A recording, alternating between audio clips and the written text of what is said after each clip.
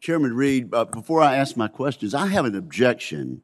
We've been having hearings in a classified setting on this, our first public hearing.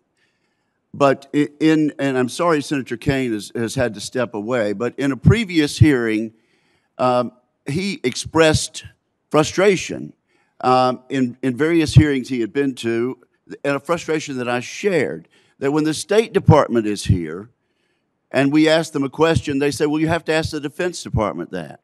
And now, uh, today, again, Defense Department people are before us, and a question was asked, and, and the answer to Senator Inhofe was, well, you have to ask the State Department that. Uh, Senator Kaine gently but fatherly sent a message to the administration at our last classified hearing that we need to cut that out, that members of the Defense Department need to be ready for the questions that we have asked and, that we're going to ask. And so I object to, uh, to the continuation of that in this hearing today. Uh, while I'm at it, I would also point out, uh, General Milley, I appreciate your statement and I've read it and I understand what you're trying to say. I, but further than, than what you um, um, mentioned, the allegation is that you told combatant commanders to report back to you. Our clear understanding is that they are that they are not in the chain of command. You are not in their chain of command. That they report directly to the commander in chief through the secretary. And so, to the extent that you told them to report to you, they were not in your chain of command. Now, let me see if I can get one question in here, having uh, taken two minutes to to uh, uh, mention a, a very important objection. Um, General Milley, in, in the fall of 2020, you said an acceler- accelerated withdrawal um, would um, risk substantial gains and damage U.S. credibility. And I want to ask uh, our witnesses about U.S. credibility. On July 8, President Biden said the likelihood there's going to be Taliban overrunning everything and owning the whole country is highly unlikely.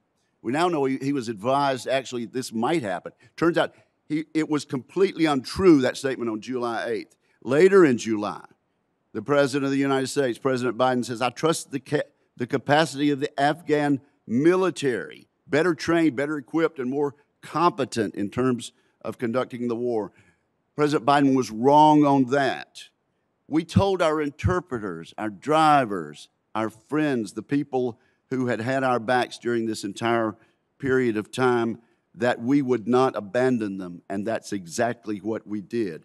And in an interview, it's already been referred to um, on uh, network news, President Biden says, and I quote, if there's American citizens left, we're going to stay and get them all out.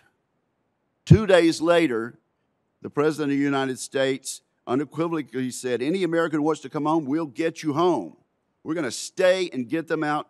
The President of the United States, our Commander in Chief, did exactly the opposite. Now, I think you were right, General Milley, when you advised that, that um, our credibility would be damaged. Our credibility has, has been gravely damaged, has it not, General Milley? I think that our credibility um, with allies and partners around the world and with adversaries uh, is being intensely reviewed by them to see which way this is going to go. Um, And I think that damage is one word that could be used, yes. Yes, and uh, Secretary Austin, there's no question that this sends a disastrous message to China and Russia.